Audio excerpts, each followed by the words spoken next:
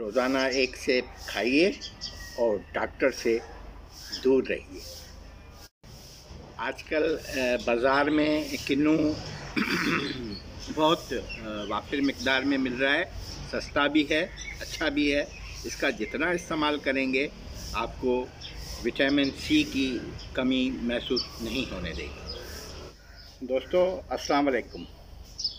तो आज हम आपको बताने जा रहे हैं कि हम इस उम्र में भी, यानी कि हमारी उम्र के बारे में भी बहुत ज़्यादा तादाद है।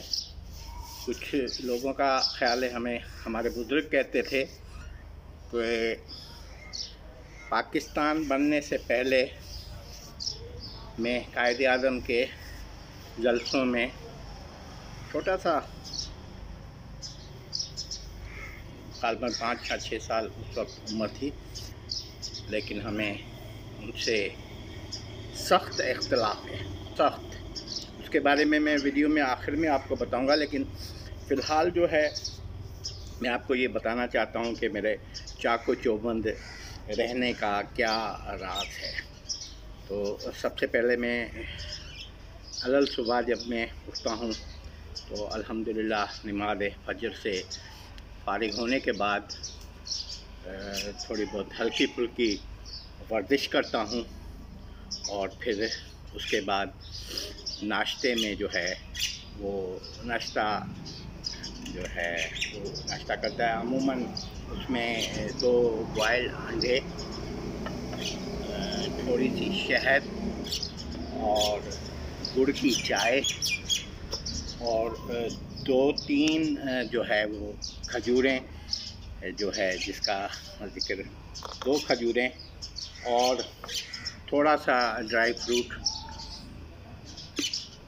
जिसमें काजू है, बादाम है, पिस्ते हैं, किशमिश है, लाजमी लेता हूँ। रात को बादाम जो है, वो भिगो के रख देता हूँ, पाँच से सात दाने, वो आँख खुलते ही वो दूध में भिगोए होते हैं। आँख खुलते ही जो है निहार मुँह ले उसके बाद मैं अपने लॉन में आ जाता हूँ। आजकल मैं खुद ही मालिक का सर अंजाम, मालिक के काम सर अंजाम दे रहा हूँ। थोड़ा सा सन बात ले लेता हूँ। ये सन बात तकरीबन 30 से 35 मिनट सन बात ज़रूरी है। अच्छा। यहाँ पे मैं दो एक चीज़ें बताना भूल गया। ये जो भुने हुए चने हैं, भुने हुए चने, बहुत बहुत ज़्यादा फ़ायदेमंद है। इनका इस्तेमाल भी सेहत के लिए ज़रूरी है। ये अदरक है, अदरक। इसको शहद के साथ मिला के, ये खाली शहद है। शहद के साथ मैं कच्ची ले लेता हूँ। और ये लहसुन है। इसके इतने फ़ायदे हैं कि वो मैं गिनवा नहीं सकता। ये भी दो गरी कच्ची लेना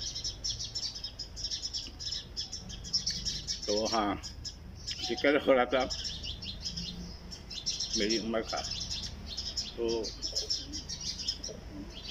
प्राइमरी स्कूल में तो जो जब मैं दाखिल हुआ हूँ तो मेरी दाखिला उन्नीस सौ छियासठ अगर मैं पाकिस्तान बनने से पहले का हूँ तो ये यानी कि पहली क्लास में मैं जब गया तो मेरी उम्र बाईस या पच्चीस साल थी तो दोस्तों ये उस वक्त रिकॉर्ड नहीं होता था तो मैं नहीं समझता कि मैं इतना पुराना हूँ। नब्बे साल का नहीं, बल्कि पचपन एक साल का हूँ। तो मैं समझता हूँ इन चीज़ों को इस्तेमाल करने का कोई ज़्यादा फ़ायदा नहीं होगा। ये विटामिन सी है। इसके अलावा विटामिन डी की टैबलेट भी मैं लेता हूँ। तो ये थी मेरी जो मैंने आपको बताया।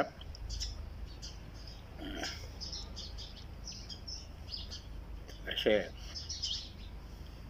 झूठ बोलना भी कोई अच्छी बात नहीं है। आदमी को कोशिश करनी चाहिए जो हमेशा सच बात करे। अल्लाह हाफिज़ दोस्तों ये एक छोटी सी फनी टाइप की वीडियो मैंने बनाई है। अगर पसंद आए तो लाइक करिए